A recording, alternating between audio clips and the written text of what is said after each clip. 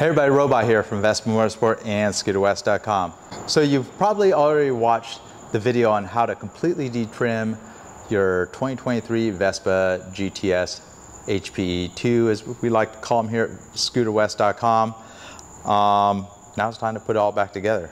But we're gonna do a little twist on it. This is a Super, so it's got the deluxe wheels, the white bodywork, but not any of the Super Sport trim, which is all black. Uh, putting a flat rack on there, we're gonna replace all those chrome bits with the gloss black bits. You can find all these parts on scooterwest.com. We have them typically all in stock to change all the trim out. A lot of times I like to say you're just going into the parts bin. You can make whatever you want. Change out the trim. You can custom paint this trim. You can see that it's actually painted if you're doing something custom. So let me show you how to put it back together, whether you just using this video as aid for reassembling your scooter or you just want to see all the cool black stuff I'm going to put on it. So stay tuned. Let's get started. So we're going to put the original Piaggio flat rack, uh, the Scooter West part numbers GTS 29 PA-BK for black. Uh, there's other options available. If you're on a budget, there's uh, some decent aftermarket options as well that are made in Italy that will work just as well. Uh, this rack is suitable for the factory top case, so if you want to put the original Vespa top case, it's color keyed to the scooter. It's a perfect rack for you. Uh, maybe you want to put an aftermarket Givi or Shad top case, this rack will work just as well. So you have fasteners in these four corners, um, have your T30. As you can see, I'm kind of lifting the rack. Pretty important that you get those started straight. Very easy to cross thread those screws. Everything's loose right now. So that's kind of always pretty important when you're assembling accessories. Kind of start, make sure everything's going in straight. And even this screw just has a little bit more friction. You can see the it's lifted off. There's just these even the best accessories. Sometimes there's some tolerances from scooter to scooter. Uh, the screws holes on these racks are pretty small, so there's not much give. Uh, worst case is maybe you need to open up the holes with a step drill bit. And at this point, I have those two started. I went ahead and tightened those so they're quite tight. With accessories, it's always good to go back and uh, recheck the torques on these fasteners.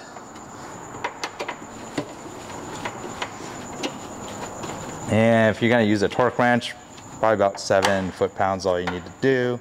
Have those loose. This is nice and easy to feed the rack underneath this plastic piece. Drop the pet carrier back in here. So there's your rear rack installed. Sometimes these buckets need a little bit of adjustment. Looks good right now. Set the seat down nice and gently. Now it's time to put the black trim on. So start with the floorboard trim first set that in place. As you can see, there's a little bit of adjustment. And just like that rear rack, we'll get all the screws started. And this step, I'm not gonna use the power driver like I did the first round. Just get all the screws started with the exception of that one right there because that one sandwiches both the upper and the lower. So go ahead and hold the trim against the bodywork fairly tight if you're looking for the best fit and finish as you do the final torquing of the trim pieces. And I'm starting from this upper corner, kind of working my way down. And that will get you the best fit and finish. And then the one screw that overlaps the two pieces. And pretty much just repeat for the, the other side. So one little mistake I made with the trim, 11 screws on each side, not 12. So there's the screw that sandwiches the upper and the lower trim. That actually is left out because when you put the floorboard back in, that's when that hole gets occupied.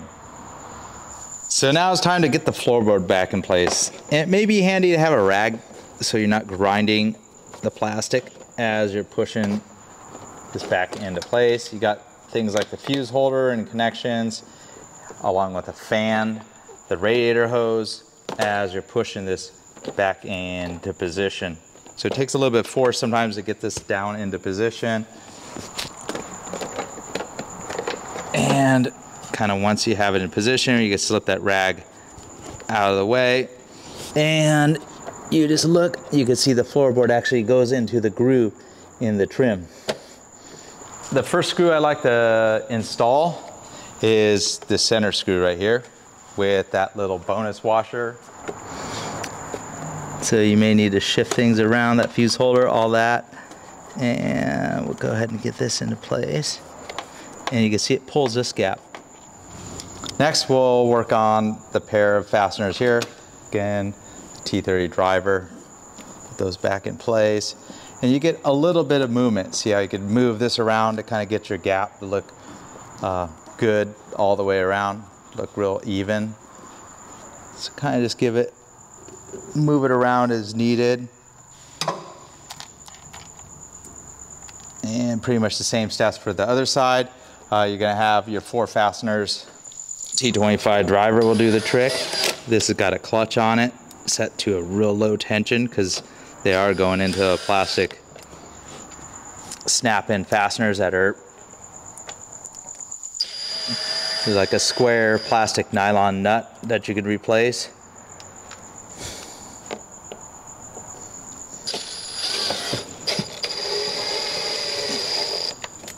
Snap the floorboard and cap into place. You can see the seam kind of overlap all this and there's a little pin under here that snaps in place. So get the black foot pegs installed in place of the silver ones that were normally found on the Super. I'll put the one fastener in there. It's got a wave washer and a flat washer. I use the ball and Allen driver. I kind of just snake it, it back into position. It's also a perfect opportunity to add the foot peg extenders. They're actually easier to install than the pegs into the frame. So make sure you get the screw started. There is a little bit of an angle to it sometimes hard to judge when getting this just started. There we go. So just leave it in there lightly so you can move everything around. And usually the foot peg needs quite a bit of alignment to make that gap nice and even all the way around. So just like such. So you can see it's high here, almost touching there. The gap's too large there. So there we go. They're just barely holding in place. Carefully snap it back out.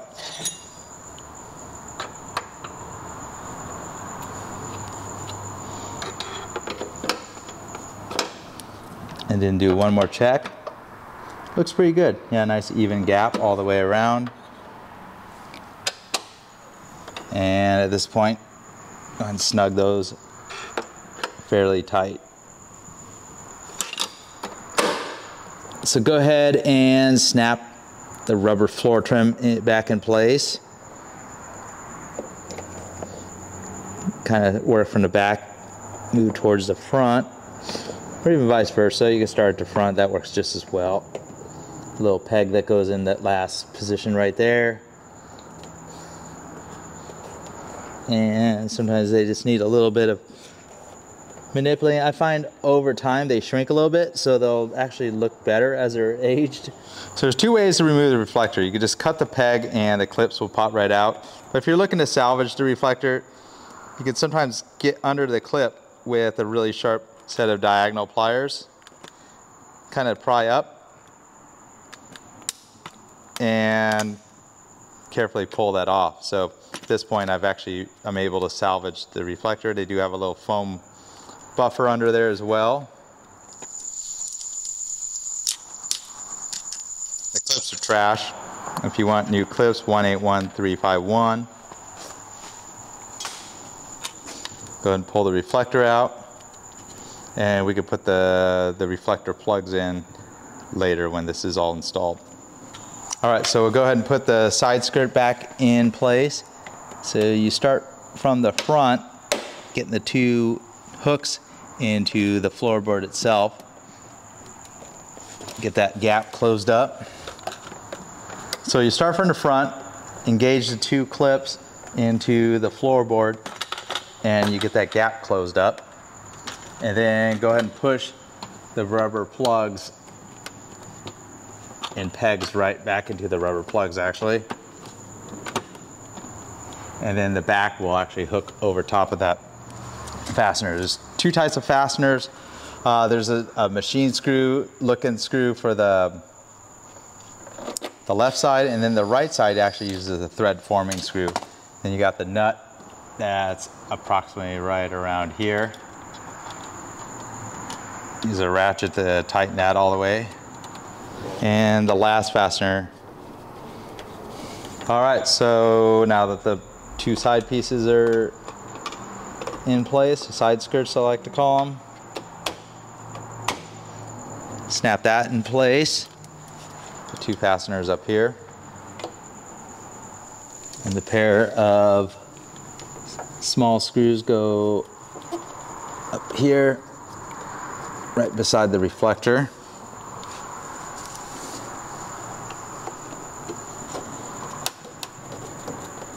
So we're going to replace the taillight with a Super Sport taillight.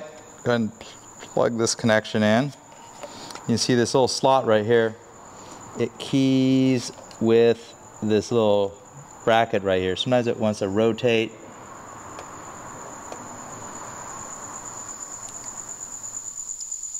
Just slide it right on there. Now the connector's going to stay in place. Now there's the two pegs that engage with those rectangular holes and a threaded fastener. So,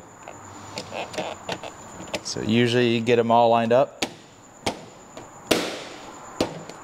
Takes a little bit of um, elbow force there to snap that in place.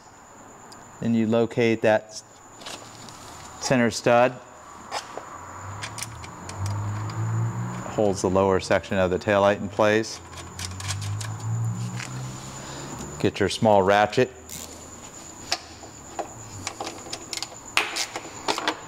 All right, so pretty straightforward. Put your battery mat back in place. Center mat, battery cover, whatever you want to call it. Next, I would suggest draping a microfiber rag right there. And we'll go ahead and start with assembly of the glove box. All right, it's probably best to have the glove box door open. This fuse block goes in and then you slide it backwards onto the hook and we'll make a click just like that.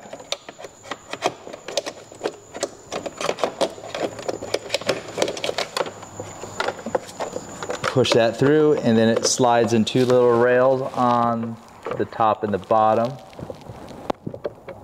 and we'll click into place just like that. Take your keyless module. It's got the connector with the tab. Locate the connector. Listen for the click. There's this fir tree zip tie goes like such. You got the connector for your USB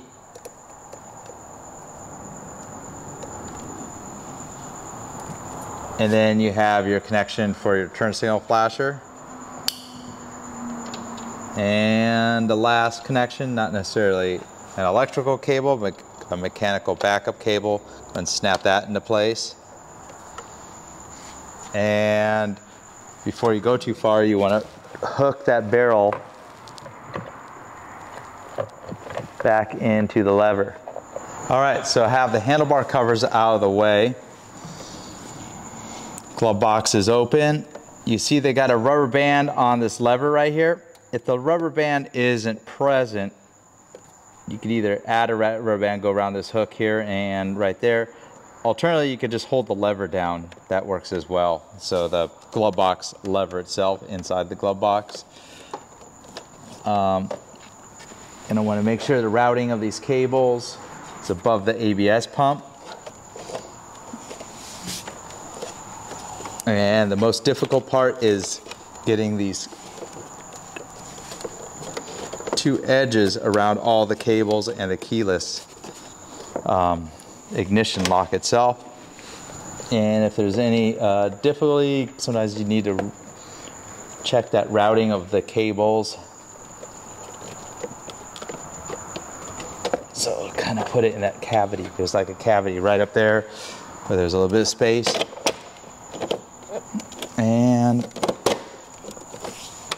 Look at both sides. You see this side's not quite lining up. Getting close. All right, so once you get the glove box around all this cables and that keyless module,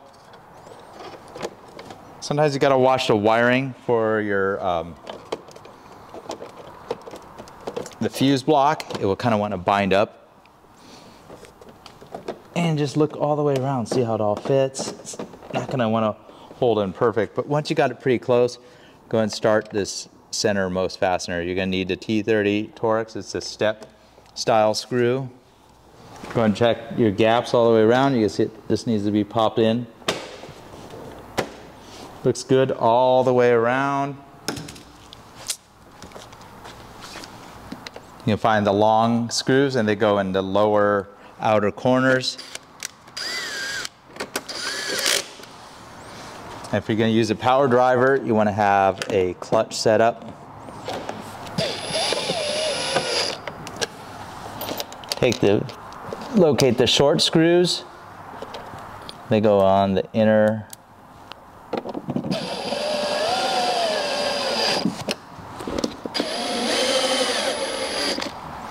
reinstall the radiator cap. Just do it fairly tight by hand. You have the outer short screws that go into these corners behind those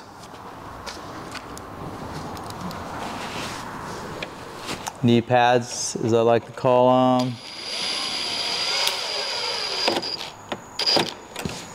And double check your joints, say it popped a little bit. You may loosen the screw. Take the medium blunt screws and they hold both of these covers in place.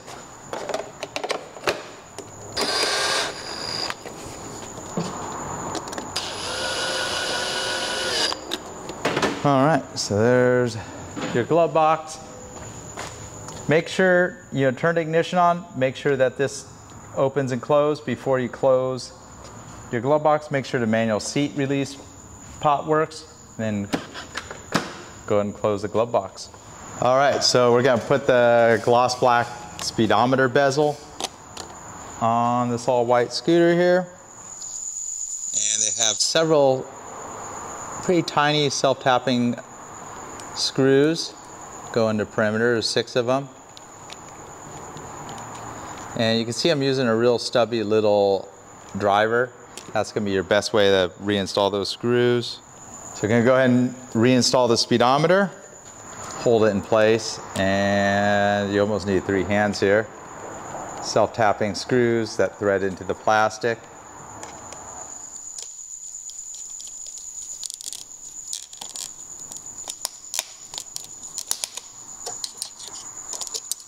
Find a better angle.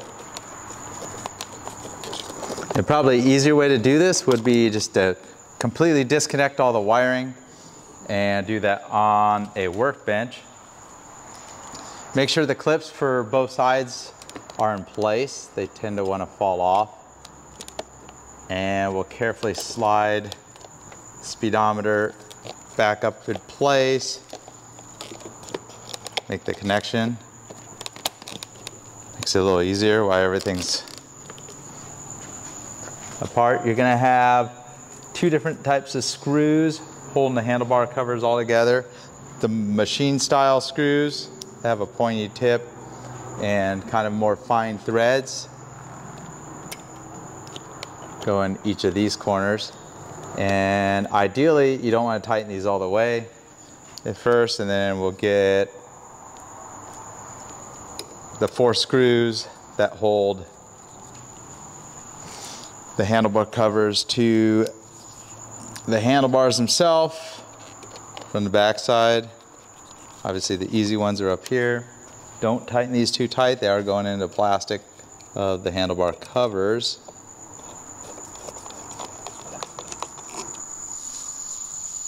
And then the tricky ones, kind of behind all the wiring. You could use your finger, use the, put grease on the tip of the screw and try magnetizing. A lot of these screws are kind of stainless steel, even though they're, they're black, so they don't tend to to want to um, magnetize sometimes, or want to stick to a magnetized screwdriver. That is.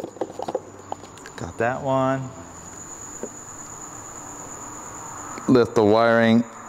Carefully feed the screw in. Once that's tight, kind of tuck that wiring back in there. You don't want to get pinched between the handlebar covers it's for uh, heated grips. They can get installed, not the factory ones that are impossible to obtain and install. So go and install the black levers that are specific for the 2023 and later GTS. Part number 1C007-042-3-BK, and that's for a pair of them from Scooter West or Scooter West exclusive part. And we have one with a RL, and that's gonna be your left lever. And it pretty much just slides right in, just like the original. I'd recommend putting a small amount of grease on the pivot pin. Same with that little ball and socket. There's, it's a fairly new bike, so there's still grease in there. And then go ahead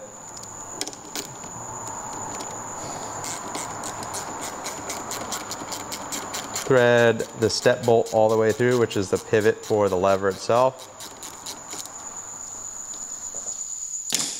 Take a nylon locking nut. Thread that onto the bottom. And if the, the step bolt's tight enough, it's not gonna spin. There we go. And pretty much repeat with that left side. All right, so got black levers on there. Before pr proceeding further, we're gonna go ahead and drop this little spacer in between it, slots in. Definitely easy to do when everything's apart. And you'll see when the hole lines up right here, that's right where you wanna stop. So go ahead and thread this with your T30 Torx driver. And that's what holds the center of the glove box tight against the trim. So out with the chrome trim and with the black trim, it's got two clips on there already installed. It hooks onto the top and then you can snap it right in place. It's two small self-tapping screws. Hold it in place. And now we can put this back on the rear handlebar covers and complete the handlebars. All right, so we'll go ahead and install the handlebar covers. Don't forget to plug in your headlight connection, three pin connector with purple, brown, and black wire colors on it.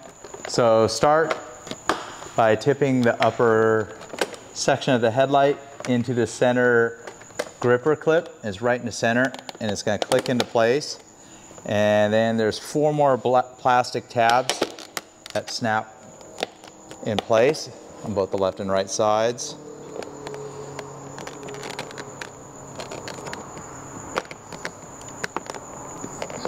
And you can kind of see them from the top as you're snapping them in place.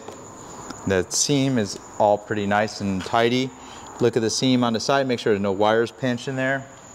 Next, you want to take your screw with the little washer on it and if it's gonna wanna fall off, you may wanna put a little grease on it, or you could just use your finger and hold the screw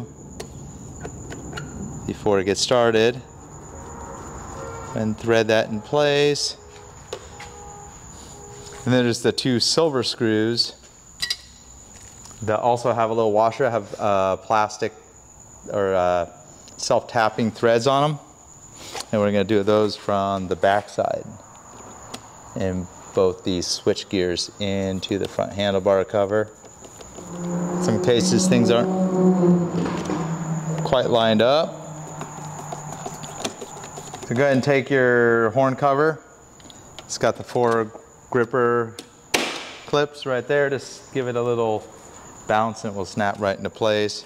single screw in the center underneath where the badge goes. Snap the Piaggio badge in, start from the right side, and then click it in on the left there. And one last thing, we're gonna go ahead and change this out. You wanna have this little shorty screw, screwdriver with a number one Phillips on it. Obviously gonna be easier if you don't have a front tire in place. Kind of reach around, you'll find the little plastic cups with the, the small screws in the center of them. So kind of holding it in place, there's the plastic cup with the screw. And you'll find another one in the front here. All right, drop the fender crest in place. And you kind of want to put a little pressure on the fender crest as you get those screws started. Again, if you don't have a short screw, just and remove the front wheel. So if you're gonna reuse the same grips and blow them off, the throttle side is not gonna have any adhesive. It kind of just relies on friction. The plastic chrome ring or the black ring, they're actually sold as a separate spare part. You can squeeze the grip and change it out for a black one. And with throttle grip, not really need to use any adhesive. But you do want to have some air with a... And there you go. And you see the Vespa, you can actually change the position of it just by getting air in there and rotate it so kind of when you're sitting on it, you see Vespa. And make sure the grip's working fine. Uh, just the plastics, the only bit showing. And you could change it out with the black bar and weights of any sort. You can do the big ones with the top case, um, the shorties that are included with the scooter. Um, they're available in black and chrome. And now you have the kind of black treatment on the handlebars here. All right, so we'll go ahead and put the black mirrors on. Maybe a good idea to put some anti-seize on the threads. 2023, they use a 10 millimeter style mirror, so it's not compatible with the older style mirrors. More of a, and on the right side, just standard threads. Left side, it's got reverse threads. So there you go. It's pretty much a super sport, but a super. So just with changing the trim, you kind of change the look of the scooter. It's a pretty good look. All right, thanks for watching. Hope that helped you out if you made it all the way to the end. Kind of pretty much how to put all the trim and body work back together on your 2023 Vespa GTS. Until next time, Robot here from Vespa Motorsport, scooterwest.com. We have all the parts you ever need. Check us out on web, scooterwest.com. Whether you got a modern Vespa like this or an old vintage Vespa, we got the parts you need. See you on the next one.